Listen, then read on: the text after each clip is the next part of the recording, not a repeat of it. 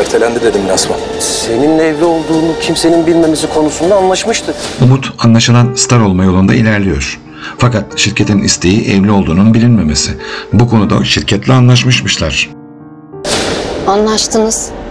Öyle mi?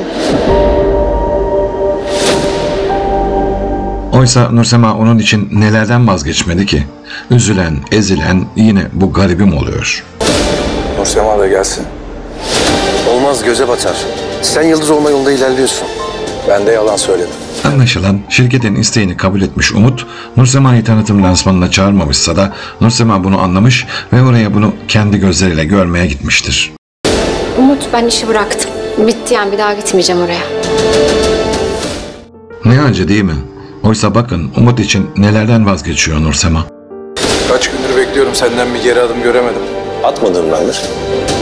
Rüzgar'ın yaptığı çok ayıp değil mi sizce de? Hani Abdullah Bey ve Alev meselesinden de farklı bu.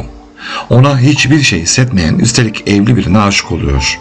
E, olabilir tabii ama onunla birlikte olmakta ısrar ediyor. Kıvılcım Aslan. Benim için gerçekten çok anlamlı bir ödül. Kıvılcım hak ettiği Gündüz Yıldızları ödülünü alıyor. Aa o da kim? Çimen de orada.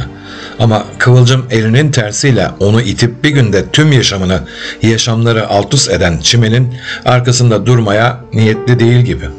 Ne işin var senin burada? Doğaya yaptığımı sana yapmayacağım. Senin arkanda durmayacağım.